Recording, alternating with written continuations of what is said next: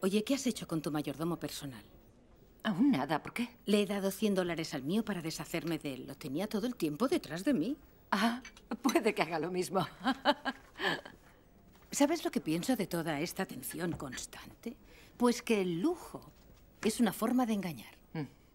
Fíjate en todo esto. ¿No te da esa impresión? Aquí no hay vida auténtica.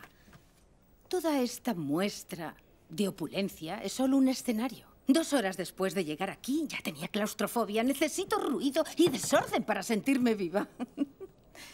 El verdadero lujo es el placer de una vida real, vivida de lleno y repleta de imperfecciones, ¿no crees? Me tomaré un martini. ¿Y tú? Ah, yo también.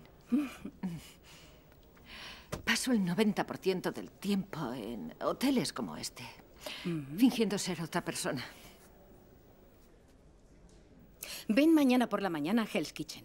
Me gustaría llevarte a un pequeño Mm. restaurante en el barrio turco antiguo. Huele a ajo y no es el sitio más limpio del mundo. Pero por 10 dólares comeremos como la realeza. ¿Qué dices? Lo estoy deseando. Genial. Dos puntos menos.